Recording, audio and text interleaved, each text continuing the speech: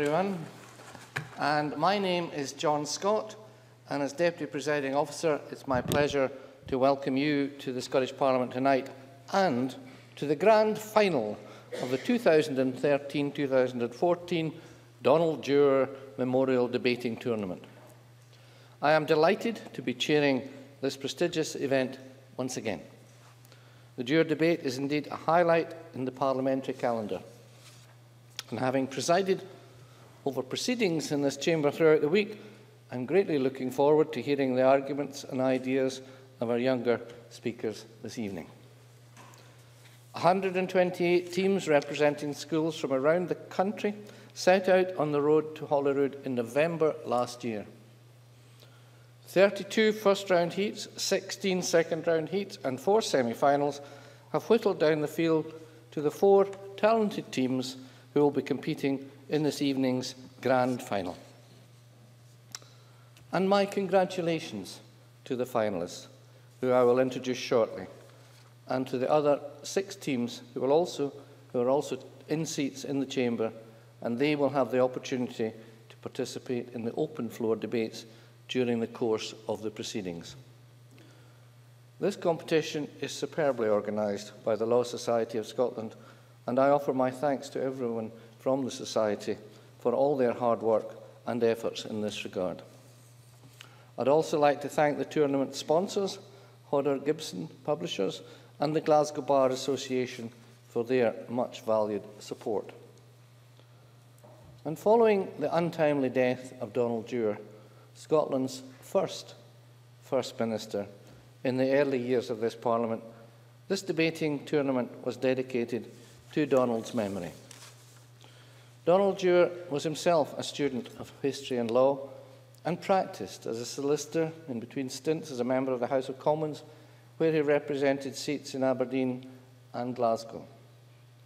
Donald was also a member of the Glasgow University Dialectic Society and was a frequent participant in its debates alongside his many well-known contemporaries.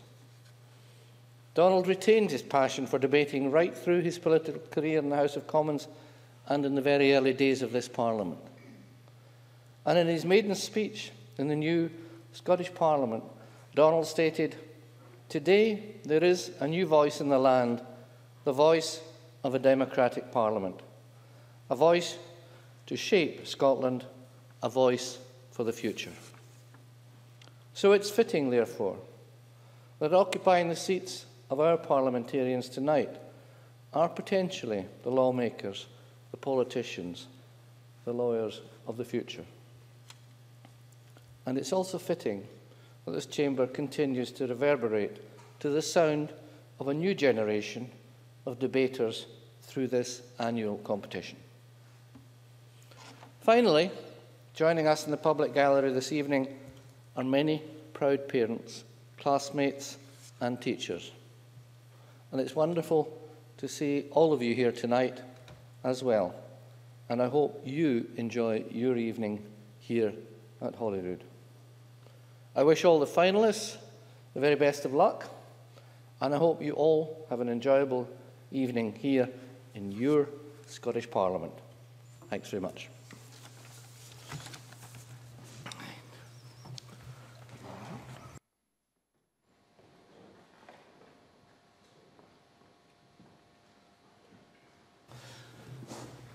And so, before we begin, I'd like to congratulate the four schools that have made it to the final.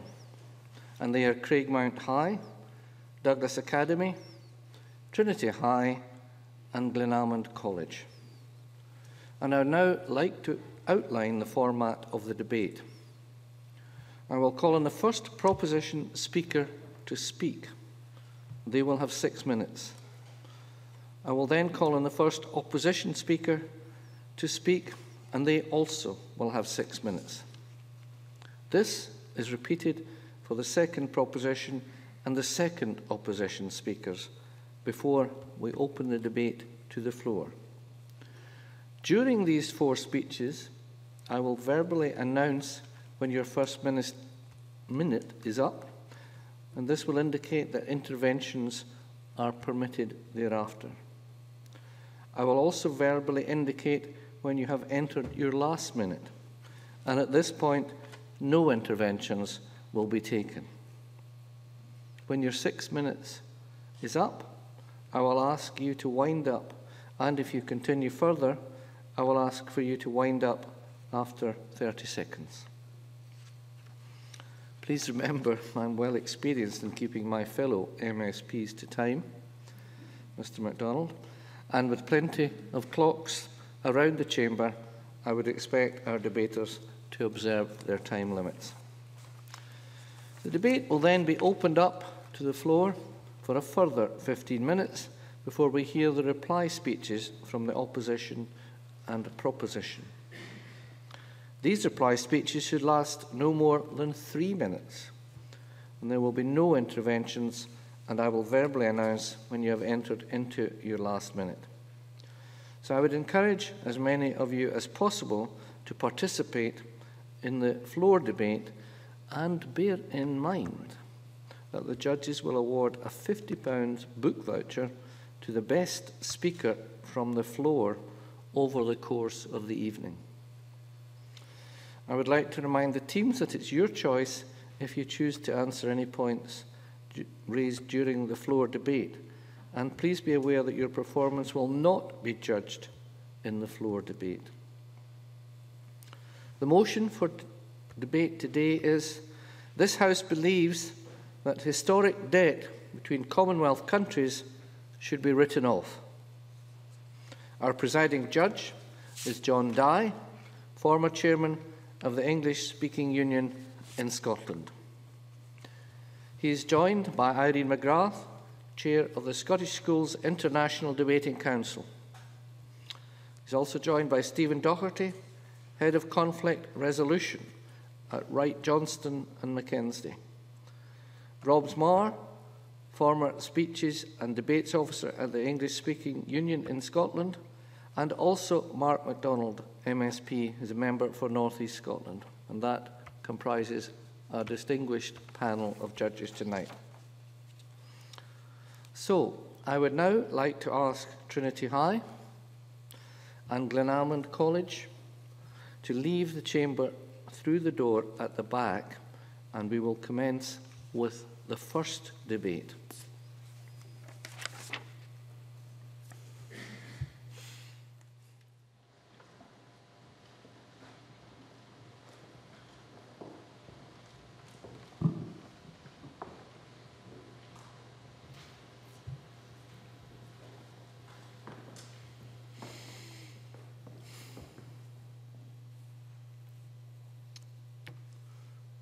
Okay. So I would now like to call on Liam Stewart from Craigmount High to open the debate as the first proposition speaker. Liam, you have six minutes. We recognise the urgency of economic development to satisfy the basic needs of the peoples of the world and seek the removal of the wide disparities in the living standards amongst our members. These words, taken from the Commonwealth Statement of Aims, seeks to make poverty history. And the proposition was to do just that. In order to do so, we must write off historic debt. There is both a moral and imperative, econo economic imperative to write off historic debt between Commonwealth countries. But first we must define historic debt. Money lent prior to the end of the Cold War when the developing world was dominated by dictatorships who were often UK supported, and all subsequent refinancing agreements of these loans. In order to demonstrate beyond all reasonable doubt why this debt must be written off, I will make two points. First of all, that it is immoral to extract money from poverty-stricken countries. And second of all, that debt relief will benefit the affected countries. My partner, Mr Davidson, will be looking at the undemocratic nature of historic debt and the benefits of this motion to the Commonwealth. To commence my first point, let me demonstrate the immorality of collecting debt from poverty-stricken countries. Ladies and gentlemen, far too many Commonwealth citizens endure absolute poverty. One third of the Commonwealth's 2.2 billion people live on less than $1 a day. Almost two-thirds of the world's HIV cases and maternal deaths take place in Commonwealth countries. More than half of the world's 115 million children without education are to be found in the Commonwealth. No, thank you. Deputy Presiding Officer, there is an indisputable need to eradicate these ills, and that means eradicating the causes. To the proposition, it is clear this entails wiping historic debt. Academic James K. Boyce has calculated that Africa is a net creditor to the rest of the world. He adds, since 1970, $700 billion have fled African members of the Commonwealth to the coffers of wealthy banks and wealthy governments. It is an obscene spectacle. It has led to a reduction in vital government spending, spending that could have saved lives. Some may say that money borrowed is money that should be paid back, but they forget historic debt has been paid back. Some countries have paid over 165% of the amount initially lent to them. What is being collected now is pure profit. Collecting it is morally abhorrent, profiteering by those who have plenty at the expense of those who have none. It must be condemned. Ladies and gentlemen, it's as if Wonga has entered international relations. It's egregious to make money from the absolute poverty of others, and this is why the motion must be moved. Now, moving on to my second point, how debt relief will benefit the affected countries. We must understand the harms of historic debt. The financial pressure caused by these loans means that developing economies do not develop at all. If anything, they regress. Their health, education and infrastructure all suffer. Would you not agree? I'd say that most of the money that goes to these countries is actually stolen by the kleptocratic leaders that run them. For instance, uh, I can't remember his name, but the president of Uganda, I think it was, spent 30 million pounds of aid on an, his own private jet, not on education. What we see here is why should future leaders have to ad adopt and take over debt-stricken countries? Why shouldn't we give future generations the chance to succeed, ladies and gentlemen? Why should uh, leaders of country in the future have to adopt a country that's going to be harder to rule? Without investment, it is impossible to develop exporting industries. Without exporting industries, it is impossible to acquire the foreign currency reserves necessary to pay back debt. No, thank you. All of this leads to developing Commonwealth countries being trapped in a vicious cycle of debt. However, money spent on loans tends to be reinvested back into these economies. The health, education and road improvements that uh, the, the country's needs will use this newly liberated money. Take, for example, Zambia, who in 2010 was named by the World Bank as one of the world's fastest economically reformed countries. This can be credited to effective debt relief given in 2005 and the reinvestment of the liberated funds. Those liberated funds were spent on immunisation programmes, improved sanitation and One improved minute. drinking water, and it did not go into the pockets of, of dictators, as the opposition speaker has tried to prove. We cannot dictate to countries how they spend their money. But even the threat of corruption does not justify failing to give the opportunity to these countries to make a real progress towards bettering their living standards. There is no reason why Zambia, whose life expectancy has gone up by over 10 years since the cancellation of debt, cannot be joined by many others. And the way to do this, ladies and gentlemen, cancelling historic debt. To conclude, forcing an individual to make repayments on a loan that greatly supersedes the original borrowed is criminal. Forcing a country to do this for over 40 years is villainous. For many Commonwealth countries, the goals I began my speech with are impossible to achieve until the historic debt has been eliminated. No one will be impoverished by our proposal, but plenty will if it is if ignored. Up, it is for these reasons and the reasons Mr Davidson will bring to you in his speech that I urge you to move the motion. Thank you. Oh, thank you.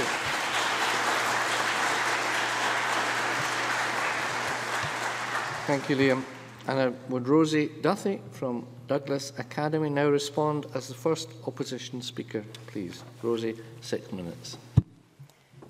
Good evening, ladies and gentlemen. Tonight's debate is not about Commonwealth debt. It is about poverty. Crucially, it is about how best to tackle poverty. And historical precedent proves that for this, debt, cancellation is ineffective.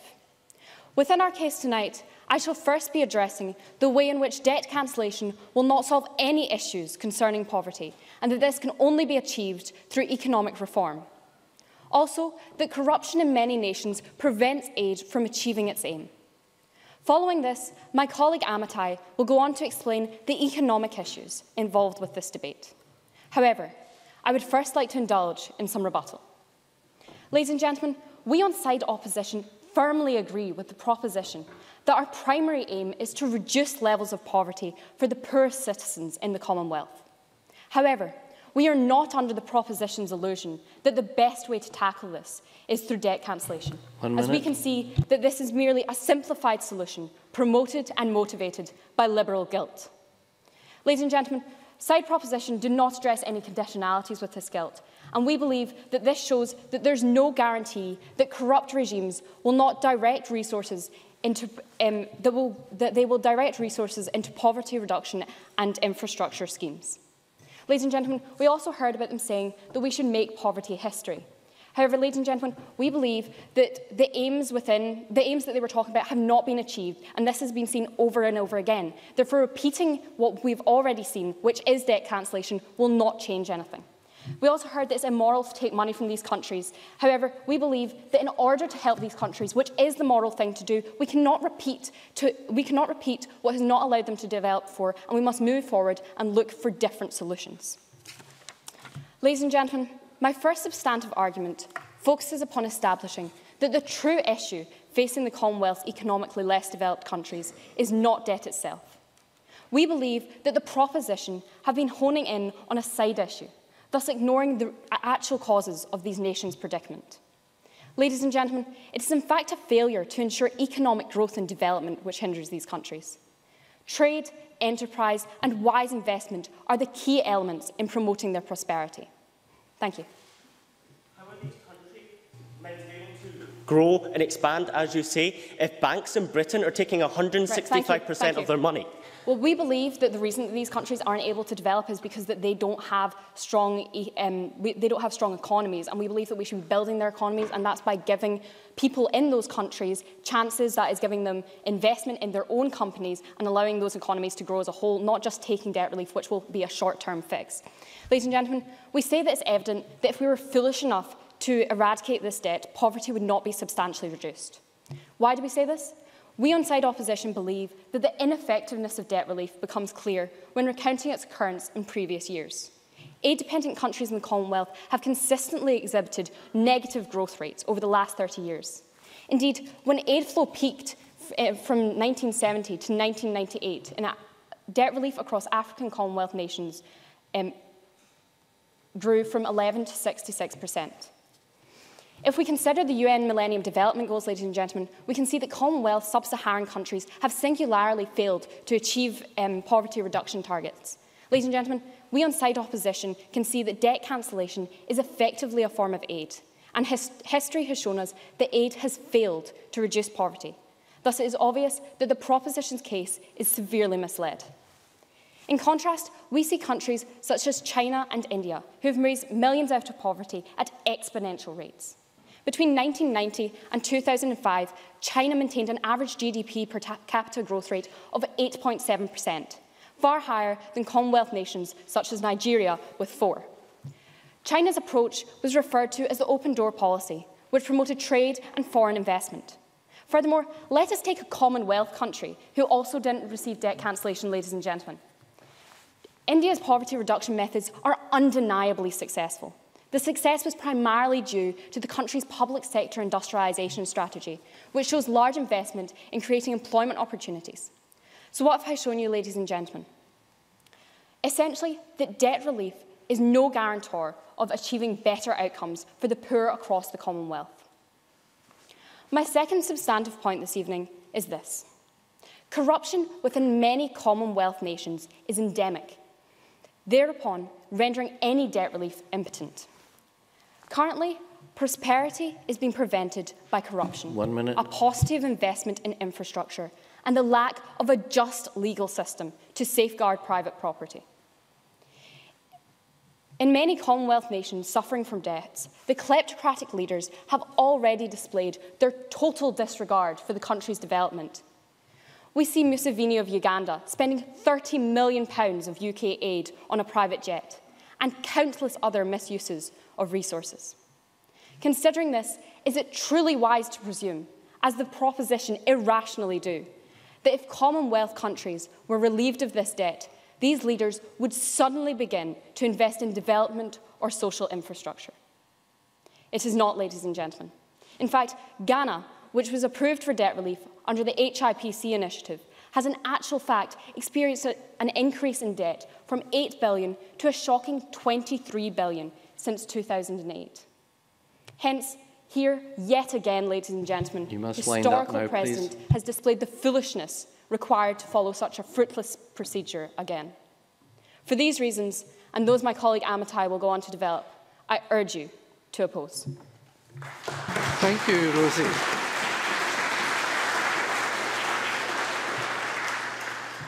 And I now invite Michael Davidson, the second proposition speaker, to give us his views. Michael, you have six minutes. The shackles of slavery have been exchanged for the shackles of debt. Countries that were previously oppressed by the empire gained their freedom during the Cold War only to find themselves imprisoned by his extreme debt. The Commonwealth should be our way of righting that wrong. It's filled with potential for a stronger bloc of countries working together to create an economic powerhouse. However, this cannot and will not happen while historic debt remains present between Commonwealth countries. My case will contain two points. How historic debt was lent and borrowed undemocratically, and how, by wiping historic debt, we will benefit the Commonwealth. But before I do this, I must first take issue with some of the things mentioned by the Honourable Lady across the room. So, ladies and gentlemen, her first of all, she addressed the idea that um, debt, um, that liberal guilt is the reason that we should be proposing this motion. But, ladies and gentlemen, yes, we should be feeling guilty. This is the injustice that Britain and the rest of the Western world has brought upon these countries, and we should be uh, seeking to amend that immorality. No, thank you. In fact, this brings me on to a nice point. The Honourable Lady didn't engage whatsoever with our point that it is completely morally bankrupt to extract money from poverty stricken people. Ladies and gentlemen, to do so is the most criminal thing to do. It is exploitation. No, thank you. Also, ladies and gentlemen, let's look at her first point.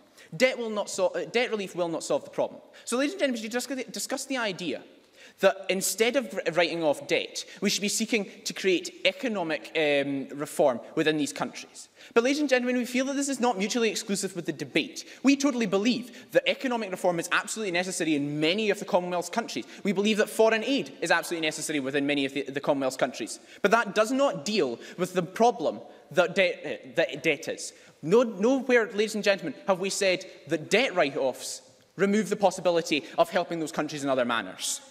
No, thank you. She also discussed the idea, ladies and gentlemen, that it isn't debt and it's actually a side issue. Well, she's clearly not been listening to the clear issues that Mr Stewart has brought in his speech. Ladies and gentlemen, when your country has to spend 20% of its annual budget, like Jamaica, on debt relief, and you can only spend about 9% on healthcare, there is clearly a link there. Would you not agree? No, we certainly not. You're suggesting that the only way that we can allow these countries to move on and develop is by removing this debt. However, not only have we seen So, countries actually, succeeding without no, debt relief, however, this removes the incentive for countries to improve their So, economy in order to get rid of this debt.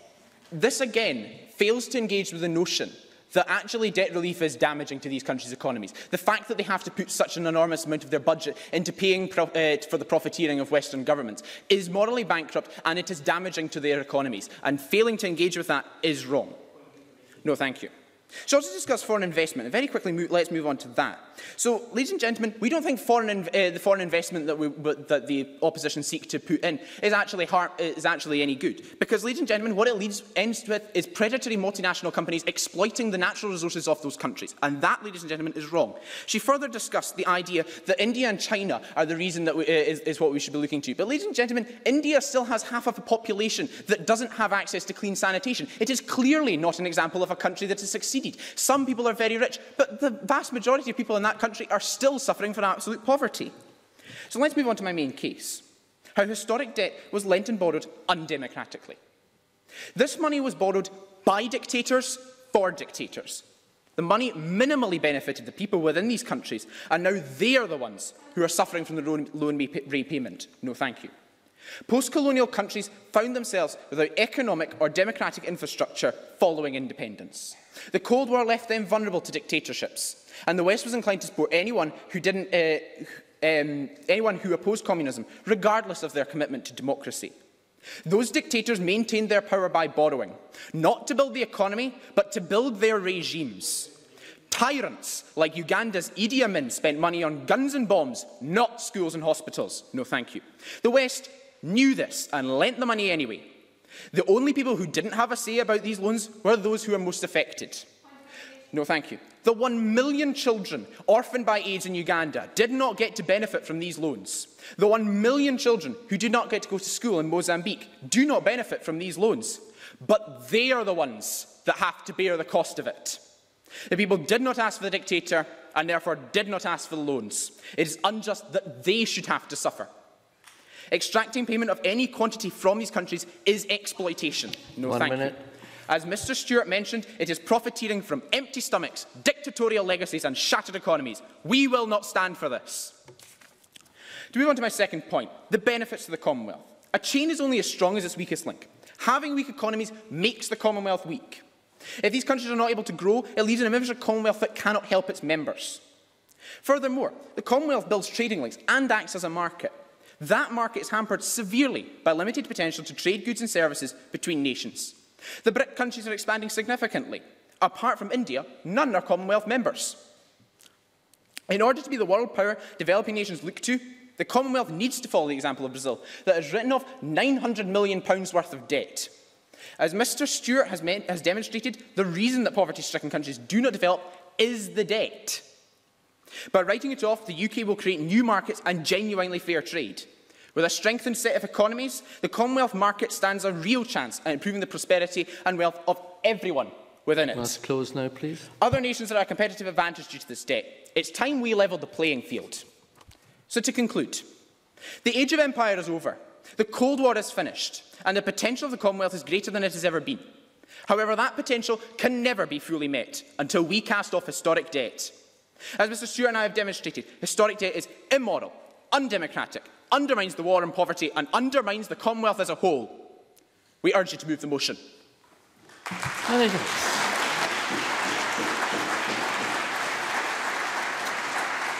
Thank you very much, Michael. And can I now ask Amitai Gottlieb, the second opposition speaker, to speak? Thank you very much. Amitai, you have six minutes, please. After 40 years of aid and debt relief, totaling hundreds of billions of dollars, where do the Commonwealth's poorest countries stand? Sierra Leone, Uganda, Kenya, Rwanda, and countless others still flounder in disease, corruption, and incredible poverty. Sadly, the proposition suggestion that we relieve their debt is a simplistic quick fix to a complex and enduring issue. My colleague Rosie has already explained how debt relief is an ineffective approach to solving poverty and suggested that we look to countries such as India and China as examples of how to widely improve the living standards of impoverished communities.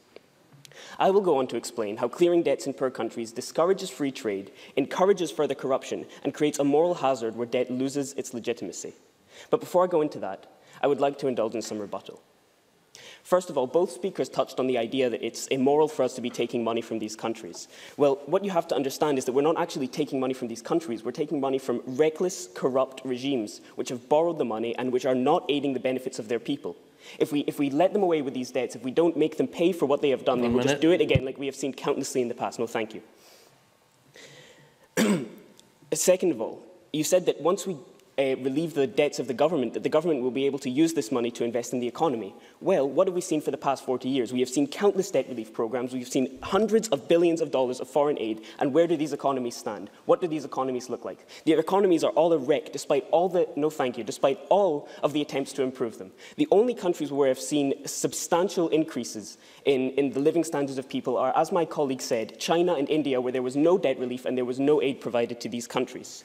You also said, no thank you, you also said that we would be able to use, that countries would be able to use the money that is freed up from debt relief to uh, put into the education system and to give clean sanitation to the, to the people. But what you don't understand is that these economies are producing absolutely no revenue. They're getting no money from their country. So how do you, no thank you, how do you expect the countries to provide further education and further water once that money runs out if there's absolutely nothing in their economy? But now onto my substantive case, ladies and gentlemen. Economically speaking, foreign aid is an inherently flawed idea forged out of liberal guilt and based on bad economics. What the proposition fails to acknowledge is that the problems faced by the Commonwealth's poorest members do not begin and end with their debt or with the size of their economy. These countries are trapped in poverty because within them exist weak financial systems, instability, corruption, and unaccountability, which repels any capital investment. No, thank you. By forgiving the debts of a country such as Rwanda, we will free up money for a country who today their main expense is the importations of weapons from abroad and not any form of domestic investment.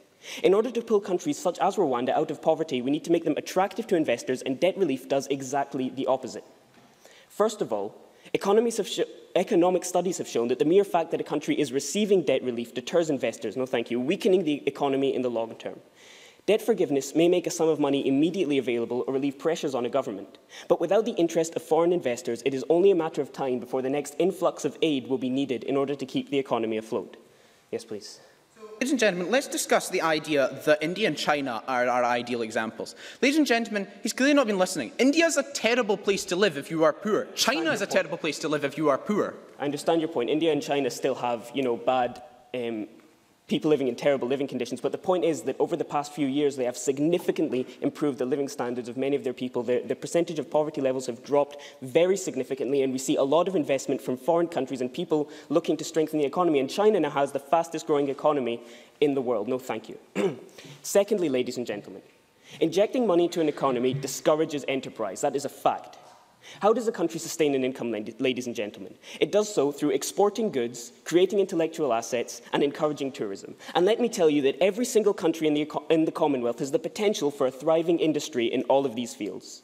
No single country in the Commonwealth is lacking in resources, skilled workers, or innovative individuals, and yet many countries can't even get their feet off the ground. The current solution that the proposition suggests is to pour money into these countries in an unsupervised manner, and clearing debt does exactly that. This influx of money is undoubtedly a bad thing as it turns the attention of the economy from stimulating growth towards grabbing available money. Yes, please.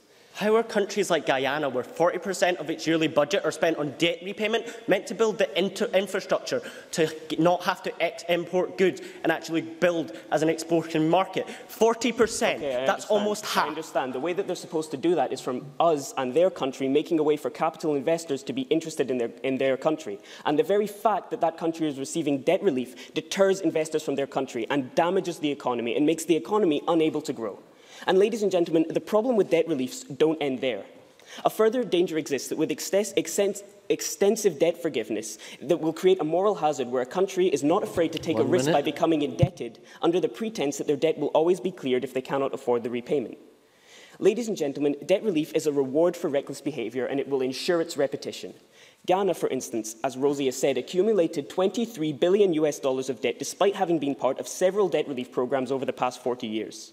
Their government borrows 1.2 billion Ghana cedis each month from the domestic market alone and yet can show absolutely no economic return.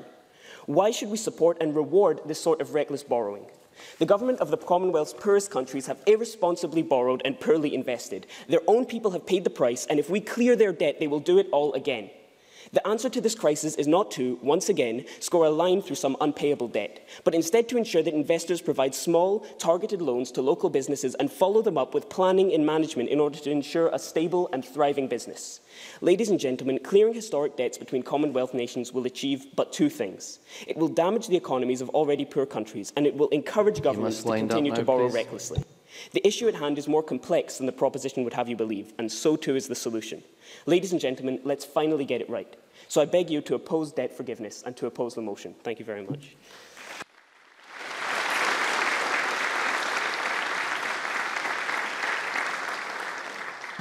Thank you, Amitai, and thanks to all our speakers. And I will now open this debate to the floor. And the floor debate will last for 15 minutes, and I will invite speakers from the floor to raise points in relation to the debate. If you wish to speak, please raise your hand.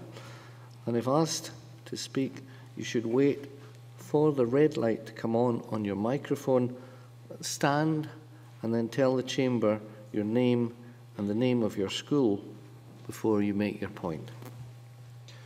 You should give short speeches, please, or ask questions of the speakers. Teams can choose to answer the point, but their performance is not judged against their response.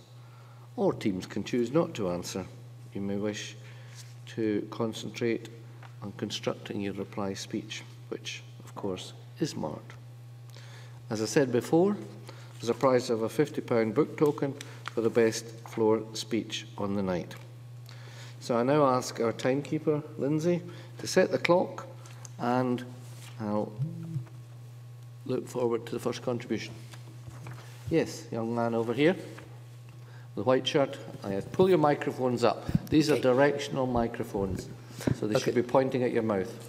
My name is Daniel Joffe. I'm from Craigmount High School, and I ask to the opposition how are countries uh, in the Commonwealth with this sort of debt supposed to try to invest uh, money into their economies when they don't have any money because they need to spend it all on paying off debt? Yes, if you'd like to answer, you just answer. Well, we believe that the fundamental issue here is that we've seen debt relief happening before and it has done nothing for these economies. These economies haven't grown in any way. So not only have we seen that this debt relief isn't helping, however, we're also seeing that we believe that the way to move forward is economic reform. And these countries can manage the debt. Often, you know, they rearrange um, conditions on the debt. The uh, payback time limits can be very long. And really, the debt isn't hindering the countries. It's just if we give them debt relief, it's injecting it as aid, which has already proven, been proven to be ineffective. Thanks. A young lady on the right, one of three, yes, on the, of that group, yes.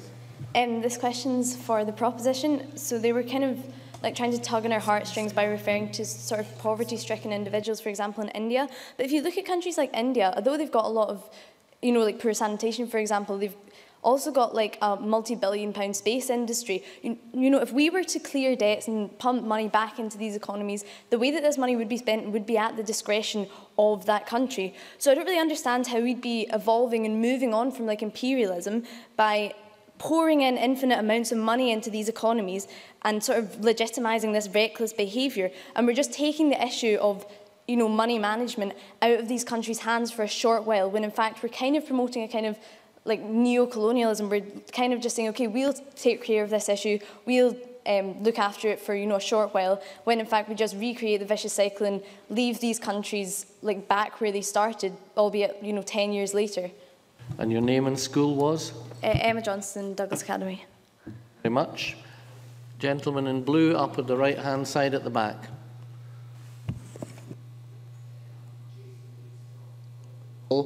And um, my question is for the proposition, and it's that um, the International Monetary Fund has stated that restructuring debt in any form always adversely affects uh, the economy of the creditors.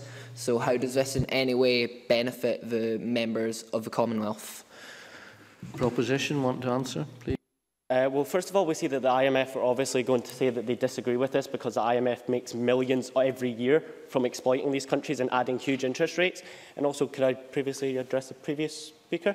Yes. Um, what we see is, well, this wouldn't be Britain saying to India, oh, we're taking control of your money, because one, India's in the Commonwealth, so they're saying it to themselves, but also this doesn't cost anyone anything. You're not giving anyone money, you're just simply saying this profit that we've collected, because what they are collecting now from countries isn't the amount that they borrowed, it is the interest rates. And what we see is places like Guyana, where 40% of its budget every year is spent on debt repayments. Countries such as India that have been talked about India is 133rd out of 184 on its GDP per annum. Uh, per capita, sorry. What this means is, although it has a lot of billionaires and a lot of monies, like you said, it goes on space programs. I asked everyone this, how does a space program benefit the poor man who's starving? How does a space very, program very good. benefit I'll, I'll draw you anyone? to a close, please. Thank you very much. Uh, lady behind, uh, the, yes. Miller from Lanark Grammar School. The proposition talked about the use of loans in military matters. I put it to you that regardless of what the money loaned has been used for, for the issue here is not the morality of the loans, but whether they should be cancelled. Countries who have taken money must be compelled to pay it back, for the alternative is little short of, of theft. Uh, yes, if you like, but briefly, please. Simply, I would say to that really is what they have paid these loans back, it's the interest that they're struggling to pay back. Because if you're having to take money to pay back loans, then you the interest, like 65%, you're not very much in a bargaining position to say you want the interest to be lower. You're kind of forced to accept what you get, so they're paying back interest and not the loan. So it th it's theft from the loaners, not the loanees. Right, thank you. Gentleman over here, yes, spectacles on, standing up. Hello, my name's Rory McLeod and I'm from St Mary's Music School. Um, the opposition says that the main issue is not so much the debt... Can you give me your name and school, please? Sorry, I speak too quickly. Speak up. My name's Rory McLeod of St Mary's Music School, Edinburgh. Um, The opposition said that the main issue is not so much of the debt as of encouraging trade in these countries which are feeling economically deprived. And they cited China as their main example. Would the atmosphere in China, being what is now considered not so much a socialist country, but certainly it's famous, or rather infamous perhaps, for its work ethic and things like that, does this not contribute quite a lot, particularly in the opposite of the countries in the Commonwealth, which are more capitalist? Does this not rather change the situation within making it less applicable towards Commonwealth countries and less of a good comparison with China? Thank you. Rosie? I think really the main point there is that although China may personally not be in the Commonwealth, we can still use the way in which it has, you know, exponentially increased, you know, the economic um, standards of that, com that country. I mean, you know, for the average person in that country, standards are improving. And although, you know, Proposition have pointed out countless times, it still may not be one of the best countries perhaps to be living in when you're poor. However, China has improved the rates far more than any Commonwealth country. So I believe it only makes sense for Commonwealth countries to want to follow this example. Also, we also use the example of India, perhaps to link it more into the Commonwealth.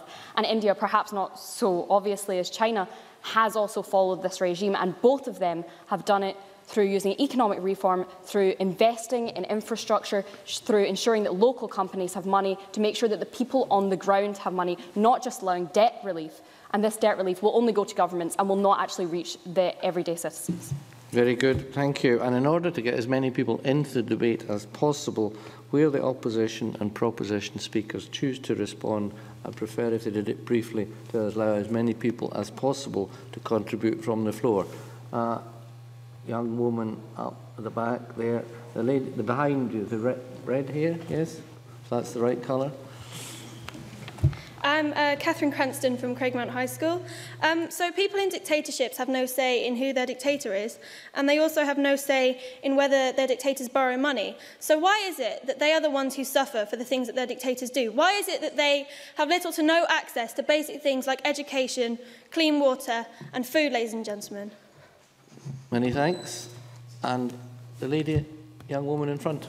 Um, thank you, ladies and gentlemen. My name is Thurnell Patty from Craigmount High School. How is it possible for countries to pay, back, to pay back money if they can't get food on their own table? These developing countries already suffer with poverty, and I believe it is an extra burden for them to pay money, which isn't directly benefiting them. So doesn't historical debt just exacerbate the situation? Also, um, the opposition, I believe, um, quoted that the countries were reckless regimes. This is about historic debt, isn't it? Um, about recklessness before the Cold War. These countries are merely the victims to the recklessness, and their fellow Commonwealth nations aren't helping them by asking them, uh, asking them historic debt. Thank you very much. Rosie? I think really the main point in that is the fact that we have seen through 40 years of debt relief that debt relief isn't targeting the citizens on the ground. We aren't making a difference to the citizens of these countries. We may be buying their leaders Bentleys and private jets, but we're not making a difference to these citizens. And that is why debt relief is not the way forward for this. Debt relief only opens up money for the government to use, and in these corrupt governments, and as the proposition did not establish any conditionalities, there is no proof and no guarantee that this won't be used for these reasons. And in terms of the fact that we need to be helping the citizens on the ground, it, the way forward for that is through economic reform and investing in development and social infrastructure. Good. Young man up here on the right-hand side of this alley. Yes. Second from the top. Uh, Matthew West, Glenalmond College. Um, for the opposition, they described debt relief uh, would only solve a side issue, but the key word in that is that it's still an issue. So if uh, even uh, by cancelling debt relief, if it only decreases poverty by a little bit, is that still not worth to get a few people, uh, maybe a couple of thousand, out of poverty? And the young man in front of him too. Uh, yes, I'm Adam McGurr from St Maurice's High School. Just a point for the opposition. Um, you're saying, well, the whole point of the Commonwealth is to create an equal footing with all the countries. Surely by making them pay this debt, you're not achieving that at all. Thank you. Thank you. Um, gentleman on the left-hand side over, are you, are you going to speak? Uh, Amitai, right? On you go, you make your contribution. Yeah, yeah so, so the problem with debt relief is that it's not just not helpful. It's actually damaging to the economies of these countries. It deters investors and it puts money into the system which stops enterprise and which stops people from being going out, going out and being innovative and going out and you know creating big businesses and, and you know doing great things and improving the economy. But instead, everyone just turns their attention toward grabbing the aid and getting the aid that comes into their country, which is not what we're trying to, to encourage in these countries. Right. Thank you. Uh, young lady up on the left here. Yes, you. Bernard from Douglas Academy. Um, this is for the second proposition speaker. He mentioned that poor citizens will not be benefiting from these loans. However, I feel by cancelling these debts that this could simply make the situation worse for the citizens.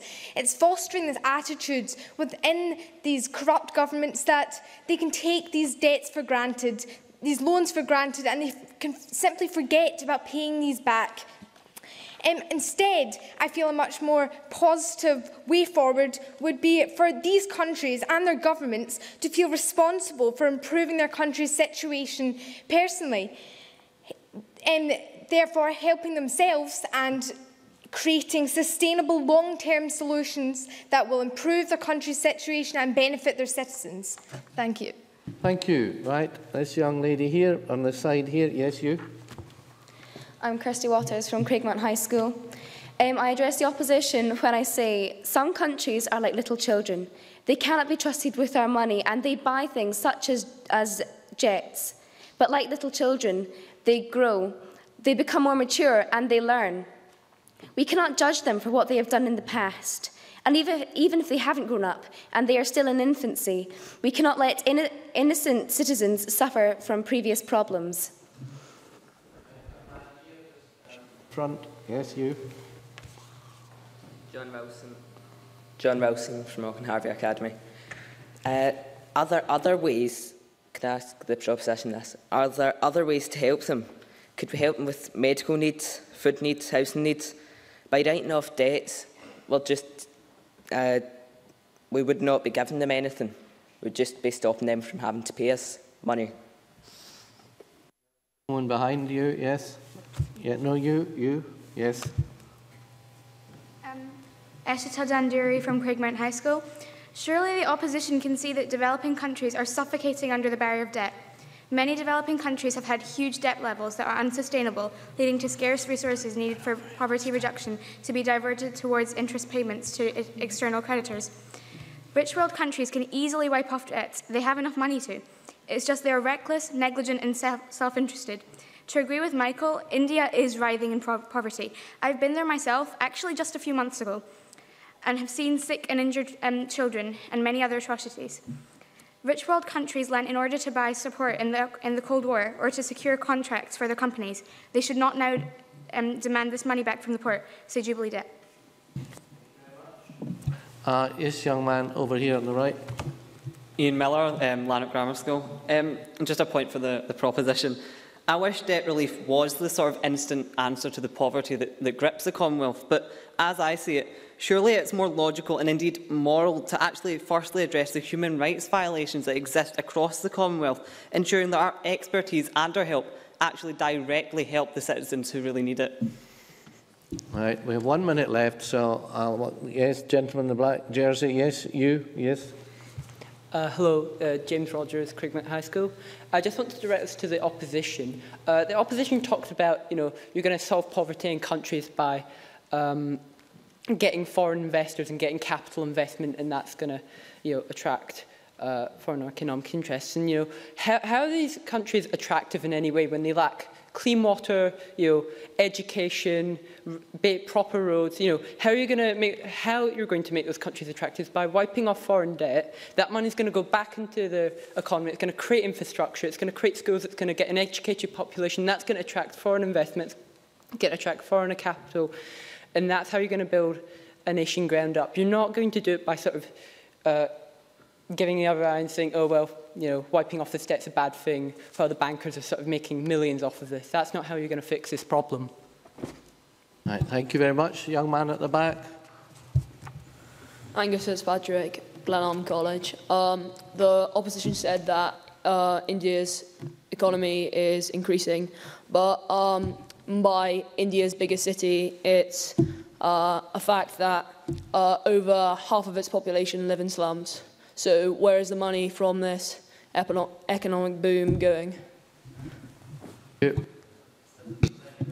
I'm intending to just take a few more contributions if the judges will bear with me, since the quality of the contributions have been so good thus far. Young man there, uh, third in, yes? Um, Aidan, Aidan Shields, Craigmount High School. Ladies and gentlemen, we see that debt is like damp.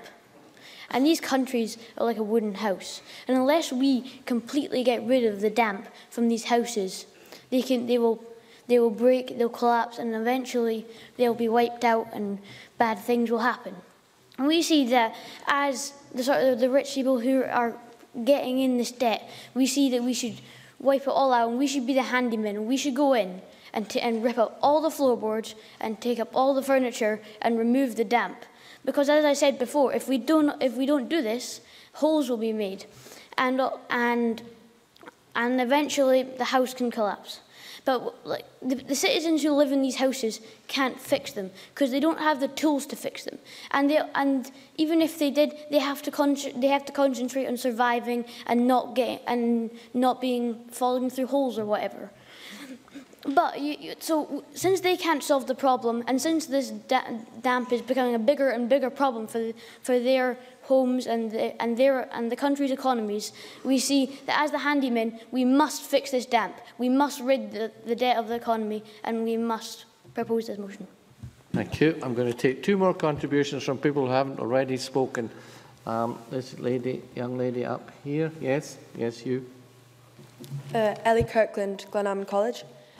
I just wanted to make the point that by abolishing historical debt, we wouldn't be giving Commonwealth countries money, but rather we'd be giving them the fundamental right to choose how to spend their own budget, their own money.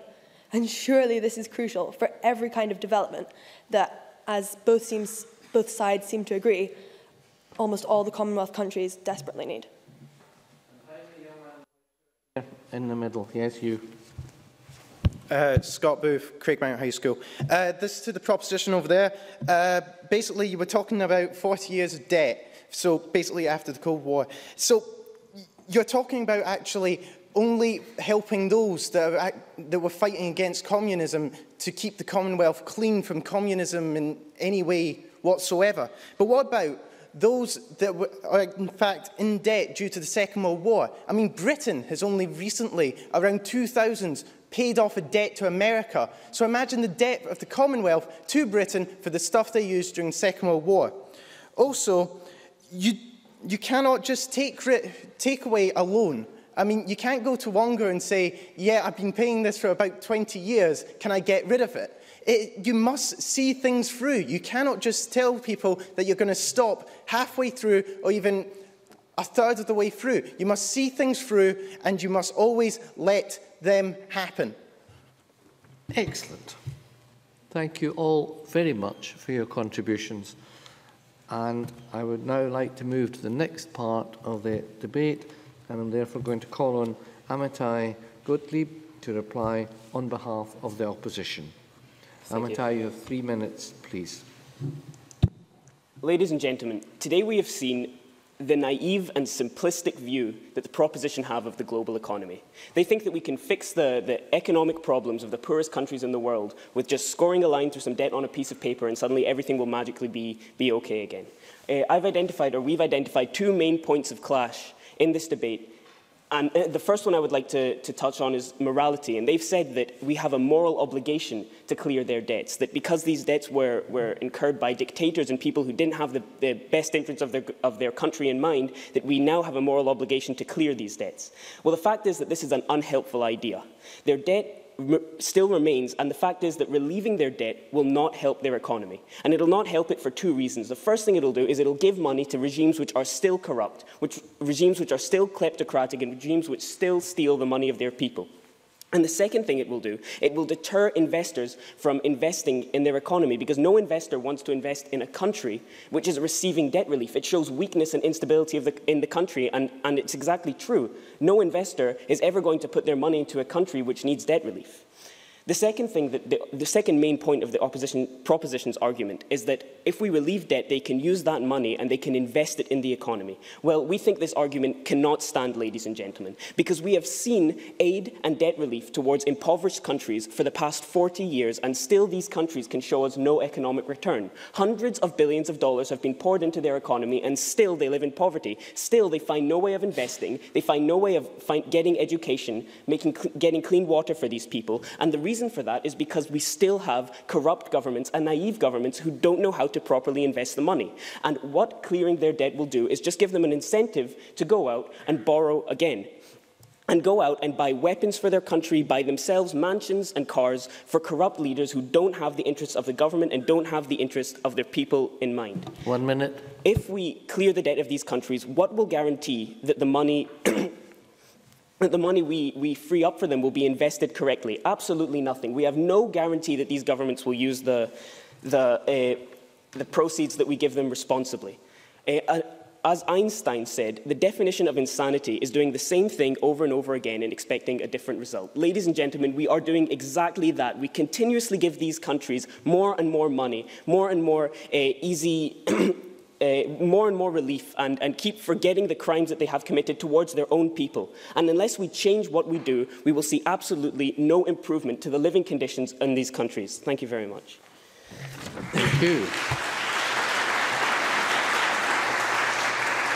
So, thank you, Amitai. And can I now call Michael Davidson to reply for the proposition? Three minutes, please, Michael. Thank you, Deputy Presiding Officer. Tonight, side proposition has been faced with a callous opposition. They reject that there is an issue with debt in the Commonwealth.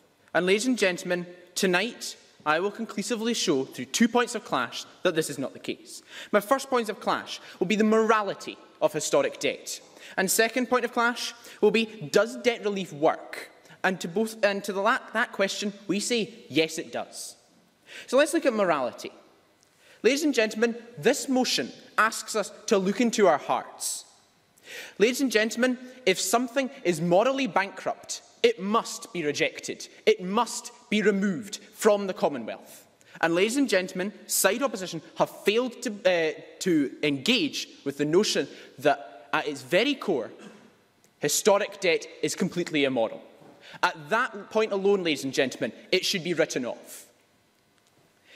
We also discussed, ladies and gentlemen, the idea that there is recklessness and, and corruption in Commonwealth countries. And to this we say that self-determination and the ability for, a, uh, for an economy and a country and a government to learn to finance its own uh, ability, it requires them to have the finances at hand to be able to do so. Ladies and gentlemen, self-determination of your own economy without having extreme amounts of debt being extracted from it constantly is an imperative in modern economics. What's more, ladies and gentlemen, we had the notion that because uh, the money hasn't been supposedly paid back, that, it needs to, uh, that we need to keep extracting this money. But ladies and gentlemen, it has been paid back. 165% in some cases. The money that these countries has lent them the money that has been spent and given to Western countries means that Africa, means that places like Jamaica are net creditors and will not suffer from having their debt written off. They will not default. One minute. So let's go on to, to, my, to my second point of clash. Does debt relief work? So, ladies and gentlemen, throughout the entire debate, side opposition have believed that no, time and again, debt relief has not worked. But, ladies and gentlemen, in 2005, when $40 billion was written off by the IMF, countries across the globe saw a rapid increase in their living standards. Zambia was the ideal example that we brought. Ladies and gentlemen, if your country's life expectancy goes up 10 years after five years of having your debt, uh, debt relieved, that, ladies and gentlemen, clearly indicates that side opposition have failed to, uh, to realise the reality of today's debate. They also counter-propose the idea that economic reform and foreign investment must be the way forward. Ladies and gentlemen, we don't deny this. But ultimately, that is mutually inexclusive with historic debt. To write off historic debt does not mean to, uh, to ignore the necessity of economic reform. It does not mean Great, that foreign investment up, cannot happen. That, ladies and gentlemen, is why side opposition have lost and why the motion must be passed.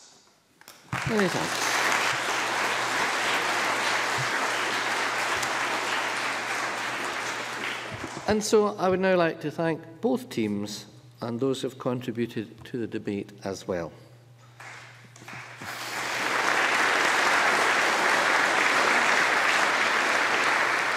You've all made valuable contributions towards today's motion and there will now be a short break and if anyone wants to go to the loo then please ask our event organisers at the back. Um, during the break, could I please ask the speakers from Craigmount High School and Douglas Academy to move to the seats in the row behind you, and we can then welcome back Trinity High and Glenalmond College for the second debate.